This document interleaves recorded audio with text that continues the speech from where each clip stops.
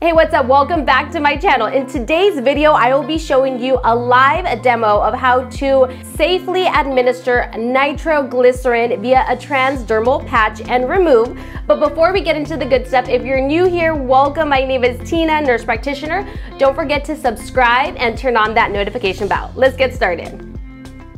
Nitroglycerin can be administered through a transdermal patch and how it works is it delivers a constant controlled medication that is delivered over a period of seven hours and it's absorbed into the bloodstream. The way it works is it dilates the vessels and helps improve coronary perfusion and cardiac perfusion. So this is typically prescribed for the patient that may have cardiac ischemia, coronary artery disease, or angina. This is contraindicated if your patient may have rashes, broken skin, or calluses. The two common sites that are administered is the arm or the chest. I have only ever seen it administered on the chest and have only given it on the chest. Some side effects, which may be an NCLEX question, are severe headache or you can get um, orthostatic hypotension. So you want to monitor the blood pressure, make sure it's stable before you administer. So like I've said before, it all begins with an order and that order should be linked to your patient. So the order may say nitroglycerin 2%, apply one inch twice daily and via the transdermal route. On the order, it may specify if you are to cover it with a transparent dressing.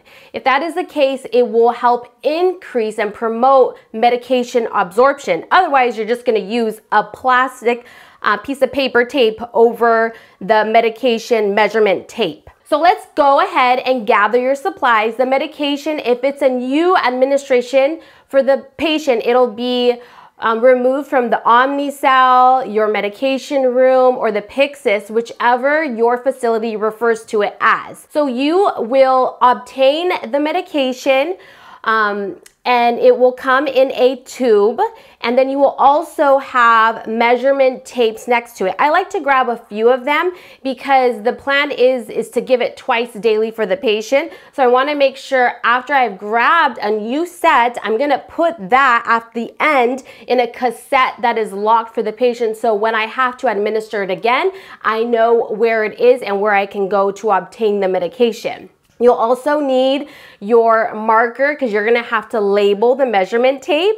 And if it didn't specify on the order, you will get paper tape um, to apply to the patient's skin. So you will go to the patient's room, you will do your hand hygiene, introduce yourself, and get two patient identifiers. Explain to the patient that you'll be administering the nitroglycerin patch, but before you do that, if it is a new administration, um, you will not have to remove anything because nothing's on, but if it has been administered prior, you want to remove the old dressing before applying the new one. So you will safely look at the site, you will open up the gown, and you will clean and remove the old measurement tape and you will wipe away any excess medication or residual that was left on the patient's chest. So let's say it was on um, the left side of the chest. Now we are going to apply it to the opposite side. So I'm gonna apply it on the right side of the chest and I'm gonna make sure that it is hairless the site because I'm identifying the right um, location to apply the new medication. And I'm also gonna make sure it hasn't been shaven the skin because that can increase medication absorption and increase the risk of those side effects that I listed. So once I have done all of that, then I am going to remove my old gloves. If they are not visibly soiled, I'm just gonna get some hand sanitizer and I'm gonna reapply my new gloves. So once I have my new gloves in place, I am going to scan the patient and scan the actual um, medication on the barcode of the medication. And I'm going to verify my rights for medication administration. So right patient, right medication, right dose, right time, right route, right documentation, right education, and the right um, to refuse. After your hand hygiene is complete, you want to reapply new gloves because you just removed the old ones. Get your medication out. If it's new, you'll see when I open up this cap, there's a foil on it, so I'll need to pierce it. And on the opposite side of the cap, there's a little pokey. So what I'm gonna do is I'm gonna put it together, puncture it, twist it, and there's my medication, okay? So taking a look at the measurement tape, you're gonna see um, it's by inches. So half an inch, one inch, one and a half, and two inches. So the order is for one inch. So you want to apply a thin layer. So stop there, okay?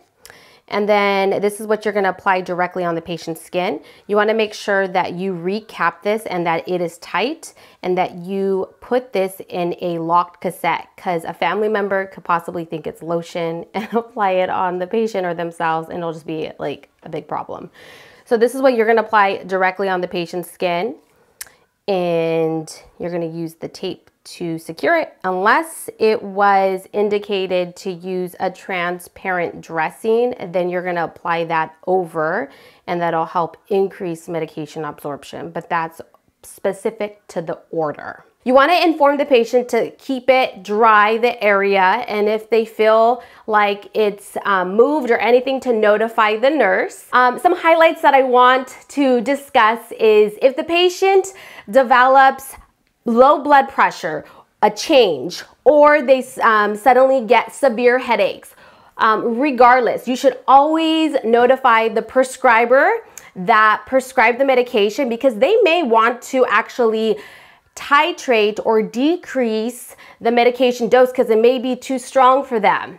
However, let's say the patient had a significant low blood pressure and they are non-symptomatic, so no symptoms. So you are going to have the patient lie flat in bed um, until their blood pressure normalizes and then still notify the doctor. All right, this wraps up my video. Don't forget to check out one of the other ones and I'll see you on the next one. Take care.